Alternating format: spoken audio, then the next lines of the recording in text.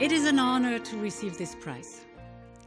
As President of the European Commission, and for the 10 million Europeans who have taken part in the Erasmus program since its inception. It is a prize to the students, the teachers, the dreamers who have made this European miracle come true. After 30 years, we can proudly say that Erasmus is one of the greatest unifying achievements in the history of our union. Η διάκριση αυτοκράτηρα Θεοχανό γεννήθηκε για να τιμά πρόσωπα, θεσμούς και οργανισμούς που προωθούν και εμβαθύνουν την ευρωπαϊκή ιδέα. The Theophano Prize is awarded to the Erasmus program, enjoyed by millions of young Europeans. It is perhaps the European Commission's most successful program.